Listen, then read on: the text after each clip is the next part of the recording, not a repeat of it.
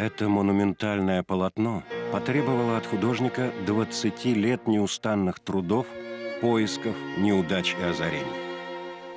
На картине Иванова Христос не в момент проповеди, не в горниле страданий, не в сиянии преображения. Он еще в отдалении. Он только готовится прийти к людям.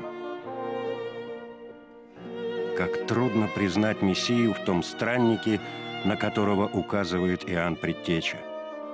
Но он уже идет к тем, в чьих сердцах борются сомнение и вера, отчаяние и надежда, ненависть и любовь. Образы и судьбы России. Александр Иванов. Явление Христа народу.